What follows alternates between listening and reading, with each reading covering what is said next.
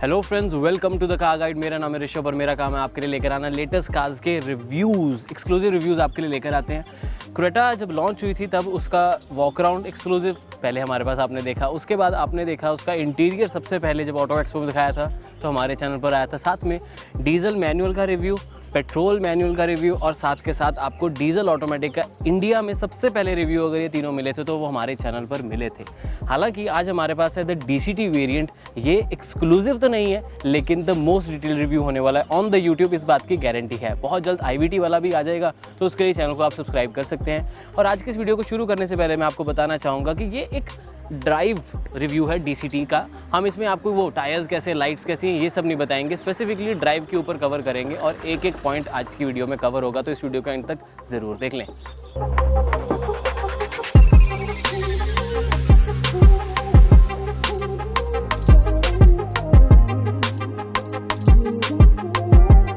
Video को continue करने से पहले मैं आपको बताना चाहूँगा कि अगर आप क्रेटा या फिर कोई भी और गाड़ी लेना चाहते चाहे वो Seltos Alto Maruti Mercedes Scott कोई भी गाड़ी हो, जिसका आपको बेस्ट रेट चाहिए क्विकेस्ट डिलीवरी चाहिए टेस्ट ड्राइव चाहिए तो डिस्क्रिप्शन में आपके लिए एक लिंक छोड़ा हमारी वेबसाइट का, वहाँ पर एक छोटा सा फॉर्म फिल कर करीजिए। मेरी टीम से आपको कोई कॉल करेगा और आपको ये तीनों चीज़ें दिलवा देगा। तो ये एक चीज़ है, लेकिन ये अभी के लिए सिर्फ़ पंजाब में अवेलेबल लेकिन अगर आप पंजाब से नहीं है तो निराश मत होइएगा बिकॉज़ आने वाले महीनों में, एक दो महीनों में ये आपकी स्टेट में भी आ जाएगा, यानी कि ऑल ओवर इंडिया अवेलेबल होगा। तो इसीलिए चैनल को सब्सक्राइब ज़रूर कर ले, बेल आइकन पर क्लिक कर दे। शुरुआत करते हैं सेफ्टी एंड सिक्योरिटी से। तो डेफिनेटली आपको गाड़ी में बहुत ही सेफ़ महसूस होता है। उसका सबसे बड़ा रीज़न है कि जब आप डोर्स बंद करते हैं ना, आपको एक थंपिंग साउंड सुनाई देती है। तो आपको पता लग जाता है कि हाँ यार स्ट्रक्चर में कोई बात है। स्ट्रक्चर सॉलिड है। तो आपको सेफ्टी सिक्योरिटी वाली जो फीलिंग है, वो डेफिनेटली मिल जाती है। हालाँकि क्रेटा में आपको टॉप वेरियंट में सिक्स एयर बैग्स वगैरह भी मिल जाते हैं, बाकियों में टू एयर बैग्स मिलते हैं तो उसकी डिटेल आपको मैम ब्रॉशर वगैरह से आप ले सकते हैं, जो आपको हमारी वेबसाइट पर मिल जाएगी। अभी हम स्पेसिफिकली ड्राइव रिव्यू की बात करेंगे यहाँ पर।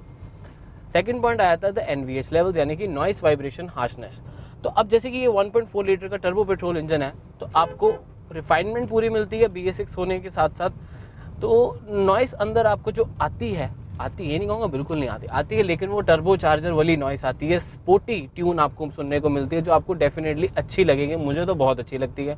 जो टर्बो पेट्रोल गाड़ियाँ होती है ना, उनकी नॉइस थोड़ी सी अंदर ज़्यादा आती है, वो मुझे बहुत अच्छी लगती है। डीजल में क्या है कि वो थोड़ी हार्श नॉइस होती है पेट्रोल में हार्श नहीं होती, बड़ी ही अच्छी ट्यून में मज़ेदार साउंड लगती है वो।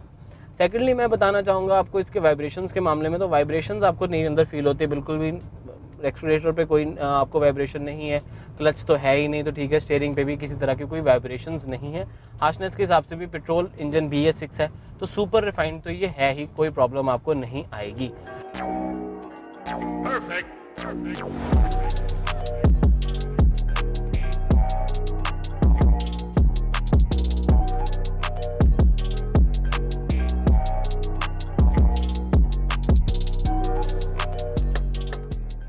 फिर आ जाती है बात विजिबिलिटी विजिबिलिटी में पिलर्स की जो पिलर्स हैं बेसिकली पूरी जो विर्थ है उनकी वो काफ़ी कम है।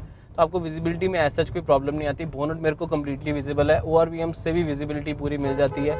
साइज़ भी ओ का बिल्कुल ठीक है। जैसा होना चाहिए वैसा ही मिलता है। आई की जहाँ पर मैं बात करूँगा, उसमें क्योंकि पीछे आपको ग्लास पूरे बड़े साइज़ का मिल जाता है तो वहाँ पर भी विजिबिलिटी में कोई प्रॉब्लम नहीं आएगी।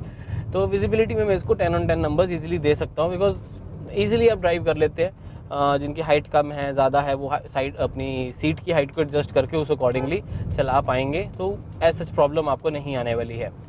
Then we talk about expression and braking expression and braking में डी सी वेरियंट है तो इसमें तीन मोड्स आते हैं। इको मोड कंफर्ट एंड आपको स्पोर्ट्स मोड तो इको मोड में तो आपको पिकअप जो है, वो इनिशियल नहीं मिलती है। मैं सच्ची बताऊँ, आपको इनिशियल पिकअप नहीं है टॉर्क वगैरह फील ही नहीं होता बिकॉज़ ईगो मोड पे ऑब्वियसली एक माइलेज ओरिएंटेड आपको परफॉर्मेंस देने की कोशिश करता है आपका ये इंजन लेकिन जब आप ग्रेजुअली ज़्यादा स्पीड पे चले जाते हो या ज़्यादा गियर पे चले जाते हो right now this is the six gear and ये सेवेंटी सेवेंटी की स्पीड है। तो अब मेरे को एक अच्छी पावर महसूस हो रही है टॉर्क की इंजन फील होता है। हालाँकि जब मुझे ओवरटेक करना है तो डेफिनेटली एक डिले है because of the eco mode specifically तो एक्सप्रेशन में वो आ जाता है और अगर आप इसको कर देते हो ड्राइव मोड पे, जिसको अभी हम शिफ्ट करेंगे this is the comfort mode अभी, ठीक है? कंफर्ट मोड में मुझे ऑब्वियसली इको स्पोर्ट के बीच का मिल जाता है कि जिसमें मुझे थोड़ी सी पिकअप भी मिल जाती है। स्पेसिफिक स्पेसिफिकली फ़र्स्ट गियर में, या इनिशियल पिकअप जो, चाहे जो सिटी में मेरे को चाहिए होती है ट्रैफ़िक में जल्दी निकलने के लिए। बहुत लोगों को ये लगता है कि जो इको मोड है ना, वो होता है फॉर सिटी ऐसा नहीं है। इको मोड होता है हाईवे पे बेटर माइलेज निकालने के लिए सिंपल क्रूज पे जाने के लिए। कंफर्ट मोड सही रहता है सिटी के लिए, सही बताओ जिसमें माइलेज भी अच्छी मिलेगी पावर भी अच्छी मिलेगी, नहीं तो इको मोड पे सिटी में चलाओगे ना, आपको ऐसे लगेगा कि यार मैंने एक अंडर पावर्ड इंजन ले लिया पावर है ही नहीं, पैसे इतने ज़्यादा दे दिए, और ये सेगमेंट में सेगमेंट का चलो बेस्ट नहीं, लेकिन क्रेटा का सबसे पावरफुल इंजन ये कंसीडर होता है वन फोर्टी पी एस तो वन फोर्टी आपको सिटी में नहीं मिलता वो इको मोड पे तो you should go for the comfort mode जिसमें आपको एक डिसेंट आपको अमाउंट मिल जाती है power then we talk about the sports mode let's skip to sports sports में मज़ा है गाड़ी को चलाने का। क्यों? क्योंकि आप जब 140 पैसे पी जो आपने, जिसके पैसे दिए हैं, वो आपको मज़ा जो है वो स्पोर्ट मोड में मिलेगा, वो आपको सिटी या कंफर्ट मोड में नहीं मिलेगा। सिटी सॉरी कह रहा हूँ इको मोड या फिर कंफर्ट में नहीं मिलेगा। इसमें मज़ा आता है। और इसमें जब आपको और मज़े लेने हो, इसको भी अप मार्केट लेके जाना हो तो डेफिनेटली आप पैडल शिफ्ट का इस्तेमाल कर सकते हैं, जैसे ये ये वाली एक्सप्रेशन मिल जाती है। तो हालाँकि मैं इतने रेकमेंड नहीं करता ये वाली एक्सप्रेशन स्पेसिफिकली अभी रोड ये प्रॉपर हाईवे नहीं है, इसीलिए तो बट हमने इसको चलाया है डी सी वेरिएंट को स्पोर्ट्स मोड पे। तो मुझे पता है कि आपको बहुत ही सुपीरियर एक्सप्रेशन मिल जाती है। तो जिसने मज़े लेने हैं गाड़ी चलाने के, वो उसको स्पोर्ट मोड पे चलाएगा। लेकिन उसके लिए ये कंफर्ट मोड तो बिल्कुल भी नहीं है, जो मैंने अब स्विच कर दिया है। या इको मोड नहीं है। इको मोड आप 1.5 लीटर पेट्रोल के साथ कंपेयर कर सकते हैं कि उस तरह की इसमें पावर आपको मिल जाती है। अभी मैं वापस इको मोड पे आ गया हूँ। और ये बट पेडल शिफ्टर्स पे शिफ्ट कर दिया था, इसलिए अभी कर नहीं रहा वो। ठीक है, अब हमने इसको वापस ऑटो पे, सिंपल पे कर दिया। अब ऑटोमेटिकली ये करता रहेगा।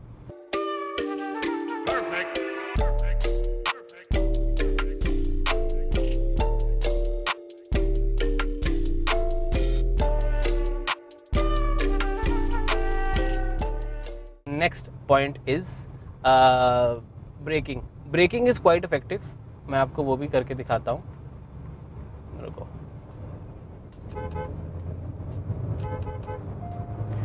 जब आप गाड़ी को चला रहे अपना, मज़े से, कोई दिक्कत नहीं रहती है तो ब्रेकिंग के मामले में ब्रेकिंग बहुत इफ़ेक्टिव मिल जाती है आपको। आपको सबसे इंपॉर्टेंट बात है फोर डिस्क ब्रेक्स मिल जाते हैं ए बी सी वगैरह, हर तरह के व्हीकल स्टेबिलिटी मैनेजमेंट सब कुछ आपको मिलेगा। तो पैडल शिफ्टर से गेयर चेंज करने का ऐसे अलग ही मज़ा आता है, जो मर्ज़ी को स्पेसिफिकली अगर आपने रेसिंग वाले मोड पे जाना हो तो। अब वापस हमने इसको नॉर्मल ऑटोमेटिक मोड पे, यानी कि डीसीटी मोड पे कर दिया है, जो ड्यूल क्लच ट्रांसमिशन होती है। अभी अपने हिसाब से चलाएगा, जैसे चलाना चाहता है। इको मोड पे मैंने रखा है तो माइलेज ओरिएंटेड होगा। बात करते हैं ड्राइवर्स कंफर्ट की, यानी कि मेरे कंफर्ट की। तो उसमें आपको सीट्स की पैडिंग बहुत अच्छी मिल जाती है। इस वेरियंट में तो नहीं टॉप वेरियंट में वेंटिलेटेड सीट्स भी मिलती है तो एक एक बेटर अप मार्केट आपको फीचर वो एक मिल जाता है। लेकिन ड्राइवर्स कंफर्ट की मैं जहाँ तक बात करूँ तो अच्छी चीज़ ये है कि सीट्स कंफर्टेबल होने की वजह से under thigh support back support hugging effect lumbar support बिल्कुल सही जगह पर है। यूडे की मोस्टली गाड़ियों में सही ही होता है, किसी में कोई प्रॉब्लम ज़्यादा नहीं आती है। तो मुझे कंफर्ट बहुत अच्छा मिल जाता है। सेकेंडली आमरेस्ट की जो बात आती है, मेरे को आमरेस्ट यहाँ पे थोड़ी सी पीछे है बिकॉज़ स्लाइडिंग नहीं मिलती। हालाँकि ऑटोमेटिक ट्रांसमिशन है तो ज़्यादा आपका हाथ यहाँ नहीं, बल्कि स्टेयरिंग पर ही रहेगा। तो इतना बड़ा वो नहीं है, लेकिन हाँ थोड़ी स्लाइडिंग होती तो मुझे ज़्यादा अच्छा लगता। है राइट साइड पे जो मेरे को आमरेस्ट मिलती है, वो पैडेड नहीं है। यहाँ पर मेरे को जो प्लास्टिक ही मिलता है तो यहाँ पर अगर थोड़ी पैटिंग दी होती तो कंपनी इधर थोड़ा बेटर होता है कॉस्ट कटिंग है क्लियर कट तो ड्राइवर्स कंफर्ट थोड़ा सा बेटर हो सकता था। सीट्स बिल्कुल एक्यूरेट है बट आमरेस्ट की मेरे को लेफ़्ट राइट दोनों तरफ़ से छोटी छोटी कंप्लेंट है।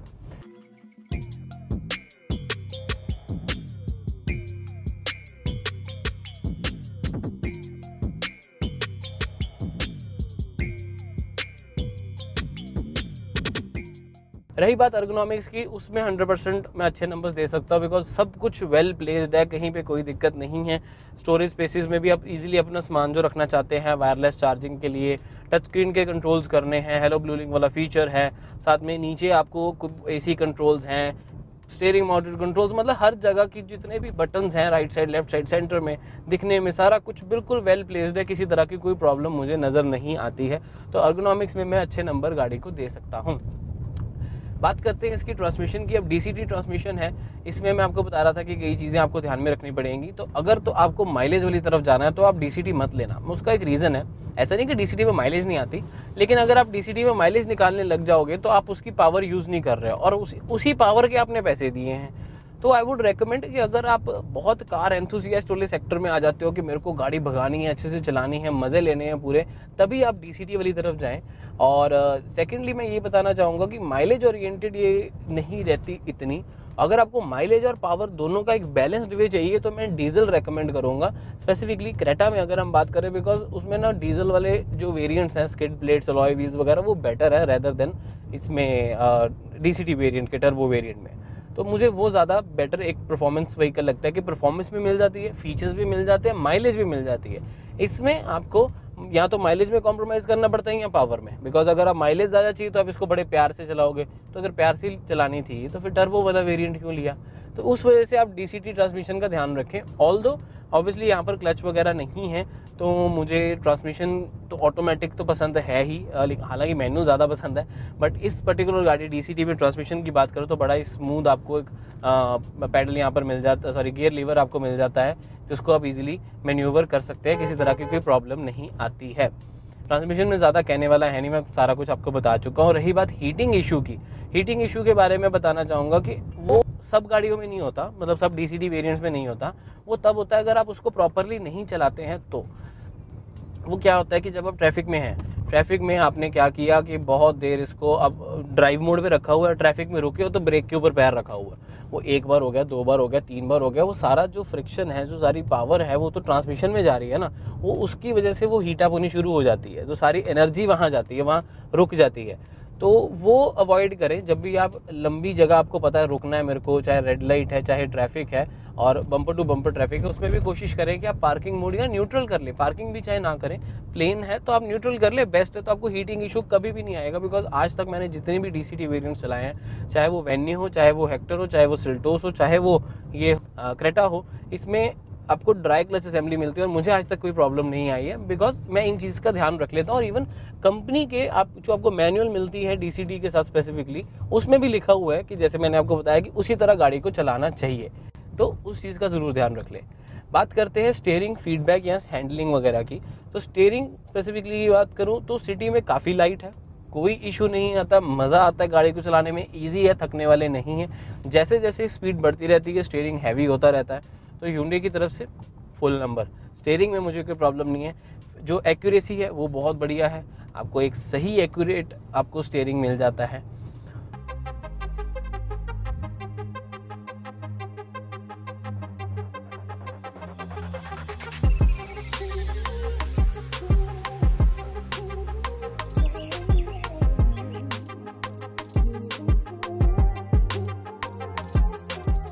सस्पेंशन में ये थोड़ी सी सॉफ्टवेयर साइड है तो आपको बॉडी रोल थोड़ा सा महसूस होगा अनडाउटेडली उसमें आपको वो थोड़ा सा बेयर आउट करना पड़ेगा, ठीक है? तो वो आप देख लीजिए। और लेकिन उसका एक बेनिफिट ये है कि आपको सिटी में आपको बड़ी कुछ नहीं राइड सिंपल राइड मिल जाती है। हाईवे पे काफ़ी स्टेबल वैसे हो जाती है बहुत ज़्यादा सॉफ्ट नहीं है, लेकिन हाँ सॉफ्टवेयर साइड पर है। हाईवे पे एक स्टेबल हो जाती है हाई स्पीड्स पे आपको मज़ा आएगा स्पीड ब्रेकर्स में थोड़ा सा बाउंसी हो जाती है हाई स्पीड्स पे। जब थोड़ी कम स्पीड होगी तो बाउंसी आपको नहीं फील होगी। तो उस तरह की इसकी सस्पेंशन है। कॉर्नरिंग में कोई ज़्यादा प्रॉब्लम नहीं आती। कॉन्फिडेंट कॉर्नरिंग है, लेकिन थोड़ा सा आपको जो बॉडी रोल है वो महसूस होता है स्पेशली पीछे। तो उसके अलावा आपको एज सच कोई ज़्यादा प्रॉब्लम नहीं आएगी सस्पेंशन के पॉइंट से। रियल लाइफ माइलेज की बात करें तो अप्रॉक्सीमेटली अभी मेरी 10.3 आ रही है बट आप देख सकते हैं कि हमने किस तरह हार्शली गाड़ी को चलाया है। पैडल शिफ्टर भी पूरे इस्तेमाल किए हैं तो वही मैंने बताया था कि माइलेज ओरिएंटेड कार ये नहीं है। This is more of a performance oriented vehicle तो ये था मेरी तरफ़ से क्रेटा टर्बो वेरिएंट, यानी कि डीसीडी वेरिएंट का डिटेल्ड रिव्यू। उम्मीद है आपको वीडियो पसंद आई होगी। अगर आई है तो किस बात का वेट करें? इस वीडियो को लाइक ज़रूर कर दे, शेयर कर दे इस वीडियो को, सब्सक्राइब करें चैनल को। और हाथ के साथ, अगर आपके मन में कोई ओपिनियन है कि कौन सी गाड़ी लेनी चाहिए, कौन सी नहीं लेनी चाहिए तो नीचे कमेंट कर सकते हैं। इस गाड़ी के बारे में क्या सोचते हैं तो उसका कमेंट भी नीचे कर सकते हैं। तो ये था अपडेट लाइक ज़रूर कर दे वीडियो यार, इतनी मेहनत करते, इतनी गर्मी है आप लोग यहाँ तक देख लिए लाइक ज़रूर करना। मिलता हूँ आपसे अगली वीडियो में। Till then drive safe and take care bye bye